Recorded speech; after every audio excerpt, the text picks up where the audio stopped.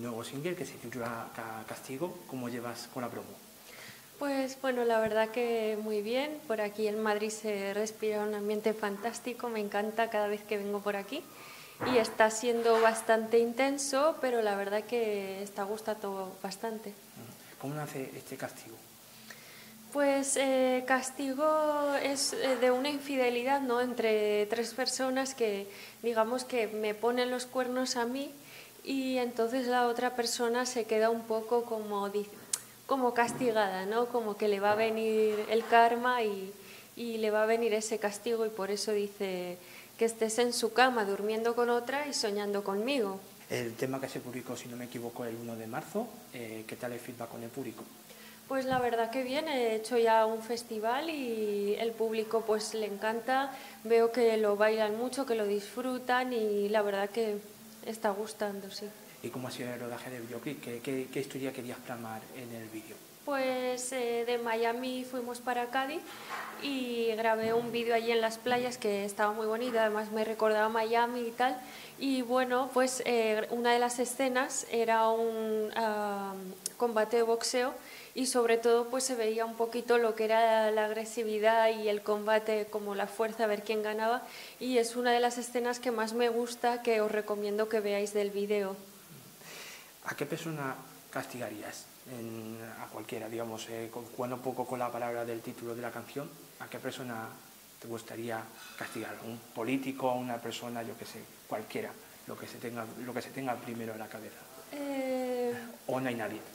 A ver, creo que ya todo el mundo ha sido castigado, quizá un exnovio. Muy bien.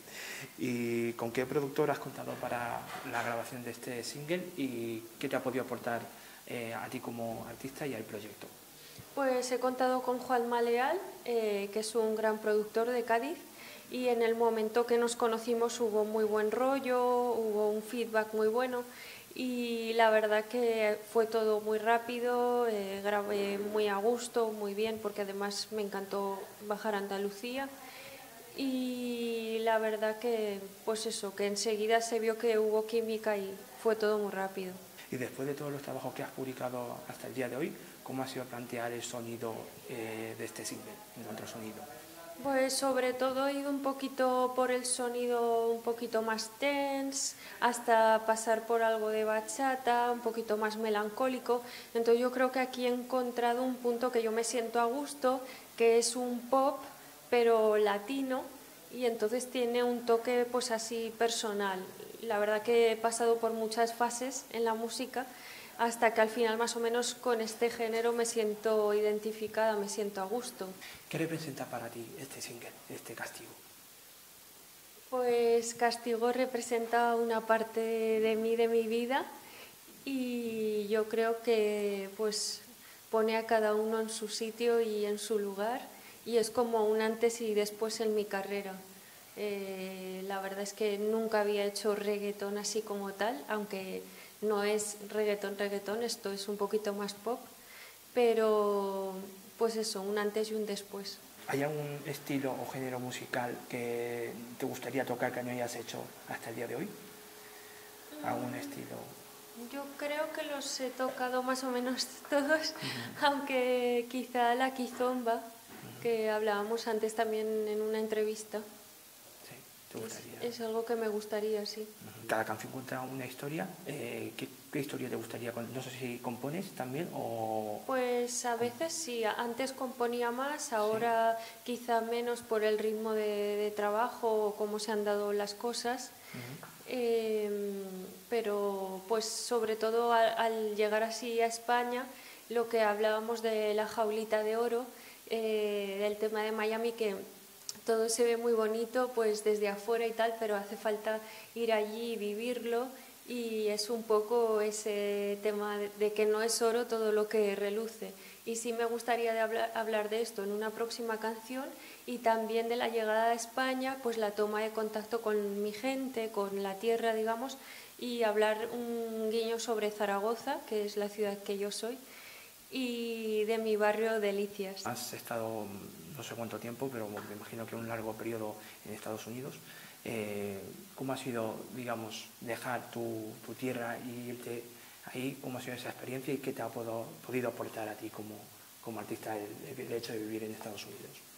Pues a ver, sobre todo la multiculturalidad de gente eh, me ha gustado muchísimo. Además me he sentido, pues sobre todo el primer año que estaba pues como casi en mi barrio, no porque todo el mundo hablaba español y tal.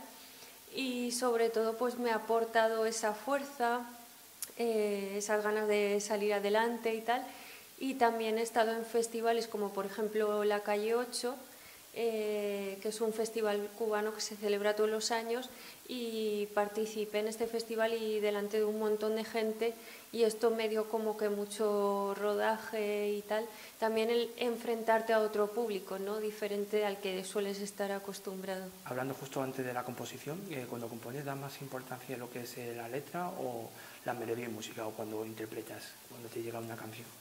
Pues antes era más la música, pero en este momento yo creo que la letra forma gran parte de, lo que, de lo que quiero reflejar, sobre todo de contar historias o cosas que la gente se identifique, aunque por supuesto la música es muy importante y con quien produces el sonido que, queda, ¿no? el resultado final. ¿Y cómo te gustaría ser recordado en un futuro por esta profesión? ¿Cómo te gustaría ser recordada?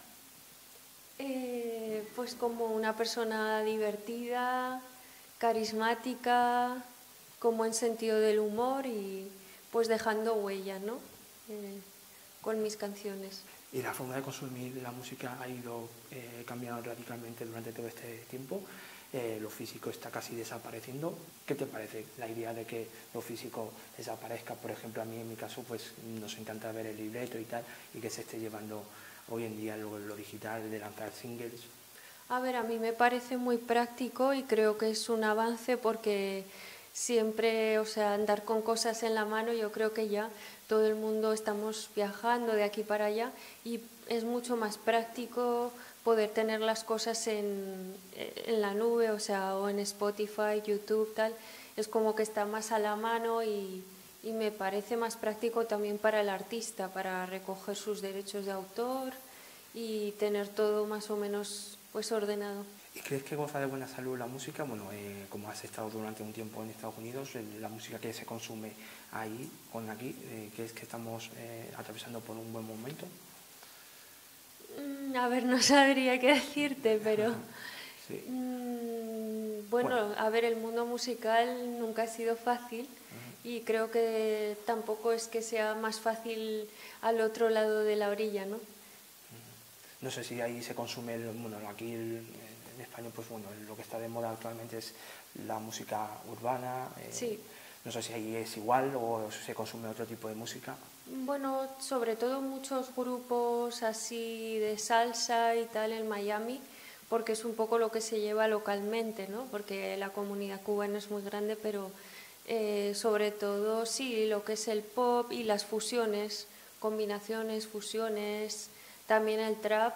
Bueno, Bad Bunny ahora se puso de moda a tope y es verdad que han cambiado mucho las tendencias y ahora es como todo va por las modas y las tendencias y también te puede cambiar las cosas de la noche a la mañana, ¿no? Muy rápidamente. Esa sí también es un poco la diferencia quizá con, con, Estados Unidos. Aquí es como vamos sembrando, sembrando y ahí de repente te puede pasar algo que te cambia un poco la vida. ¿Crees que sigue habiendo eh, machismo en la música? Hablo de, de aquí, por, por España. Por ejemplo, el género que hablamos de la música buena, si sigue, bueno, hay letras que son muy machistas. Bueno, a ver, yo pienso que España está bastante equilibrado, pero mm, hay bastantes mujeres que, que están saliendo así en, en el género musical urbano. Sí que es verdad que todavía parece que choca un poquito, eh, no estamos acostumbrados, pero cada vez salen más mujeres y yo pienso que, que estamos pues a la orden del día y en los festivales también se contratan bastantes mujeres, aunque a veces sí es verdad que en algunos festivales de reggaetón se ve mucho hombre y, poca mujer y esto te, te, choca, te llama la atención. ¿Qué significa la música para Alexia? Pues una forma de expresarme, de vivir, de respirar, o sea, eh, la música la llevo, digamos, en, en las venas y, y es mi medio de vida. Y para la gente que todavía no te conozca viendo esta entrevista, ¿quién es Alexia y cómo te definirías? Pues me defino como una mujer eh, fuerte, luchadora, segura de mí misma, amiga de mis amigos, eh, divertida y también algo sensible. ¿Y qué sueños tiene Alexia en la actualidad o a corto o largo plazo? Pues seguir aprendiendo cada día, eh, formarme más y hacerlo mejor y sobre todo hacer buenos conciertos y un tema de súper éxito. ¿Y próximos proyectos que tengas? No sé si estar, eh, estarás por aquí, por España, haciendo unas actuaciones eh, o tienes previsto... Sí, ahora tenemos previsto la gira del verano, las contrataciones y tal, y voy a hacer antes de junio un nuevo single que sí que es un reggaetón lento, pero quizá es más emotivo y llega más a la fibra sensible de, la gente. Y ya para terminar, Alesia, ¿algo que quiera destacar de esta entrevista que se me haya olvidado preguntar? Pues eh, yo creo que nada más que me sigan en mis redes sociales, eh, Alexia Oficial, Alexia con K y con S. Pues Alexia, ha sido un verdadero placer poder descubrir tu proyecto musical, desearte mucha suerte y esperamos verte muy pronto. Muchas gracias. Muchas gracias a ti. Gracias.